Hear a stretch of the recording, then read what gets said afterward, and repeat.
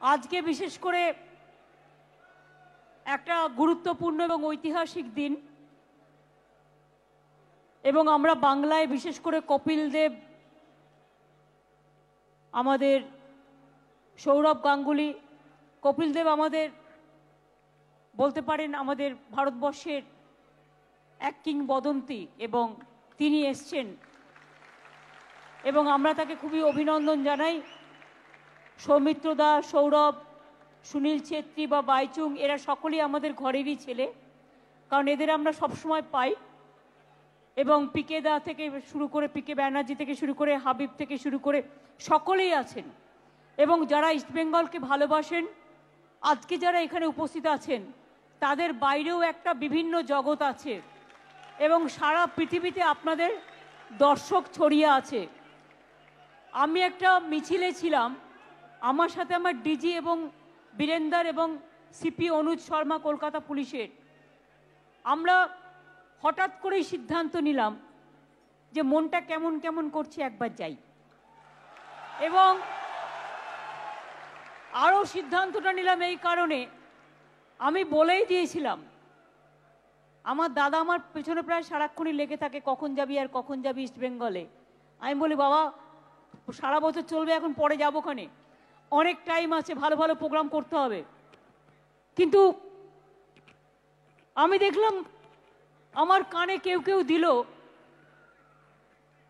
যে ইস্ট বেঙ্গলের লোকেরা নাকি শুধু East Bengal West Bengal East বেঙ্গলের মধ্যে নাকি একটা ফারাক আছে। এইটা শুনে এইটা শুনে আমি নিজেকে সবচেয়ে লজ্জিত বোধ করেছি। তার কারণ, আমি এপার বাংলায় জন্মগ্রহণ করেছি বলে এটা নয় যে আমি ইস্ট বেঙ্গল নই বা আমি ইস্ট বেঙ্গলকে ভালোবাসি না।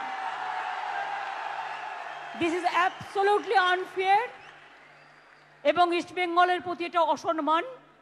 আমি মনে করি কতগুলো ইতিহাস তৈরি হয় যার কোনো ভৌগোলিক সীমারেখা থাকে না, কোনো ডন্ডি থাকে না।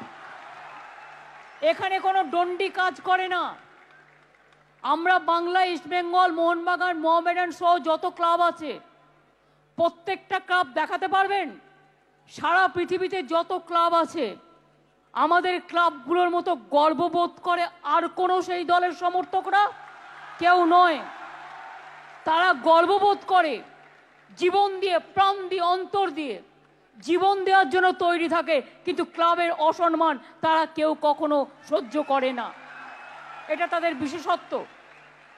এবং আজকে তাই আমি আপনাদের স্যালুট জানাতে এসছি।